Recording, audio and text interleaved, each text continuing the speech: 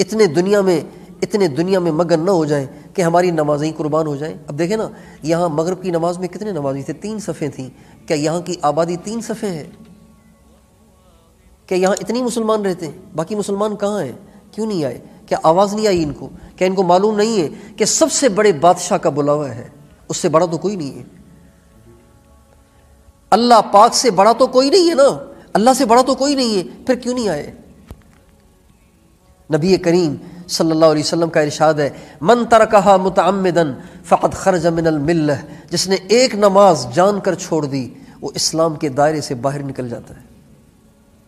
जिसकी एक नमाज़ क़ज़ा हो गई, उसका सब कुछ बर्बाद हो गया, तबाह हो गया। इतना अहम अमल नमाज़, उसके पढ़ने वाले, उसके पढ़ने वाले, उसके पढ़ने वाले आटे में नमक के बराबर रह गए। हालाँकि हम मुसलमान हैं। नबी करीम सल्लल्लाहु अलैहि वसल्लम दुनिया से जा रहे दुनिया से जाने तक आपकी एक नमाज़ भी नहीं गई। आपने सारी नमाजें पढ़ी सारी नमाजें आपने पढ़ी हैं।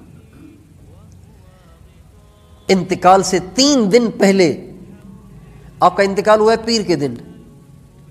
पीर के दिन। जुम्मे रात को आपने मगरब की नमाज़ पढ़ाई और मगरब की नमाज़ में आपने वल मुरसलात उर्फन पूरी सूरत पढ़ी।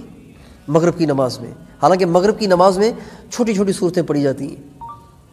मगरब की नमाज़ में छोटी छोटी सूरतें, अलम तर, लीलाफ, इन्ना तैना कुल्ला तब्बत यदा, ये सूरतें पढ़ी जाती हैं।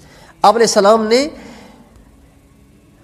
उस मगरब की नमाज़ में जो जुम्मेरात को आई थी, आपने वल मुरसलात जैसी लंबी सूरत पढ़ी उनतीसवें पारे की आखिरी सूरत।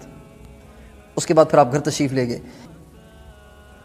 और उसके बाद भी आपकी तबीयत संभली नहीं, बिगड़ती ही चली गई, कमज़ोर ही होती चली गई। उसके बावजूद भी जब कब जब कभी आप देखते कि दो आदमी के सहारे से भी जा सकता हूँ तो दो सहाबा के कंधों पे आपके हाथ होते थे, आपके पाँव ज़मीन पे घिसट रहे होते थे और आप जाके मस्जिद में नमाज़ पढ़ा करते थे।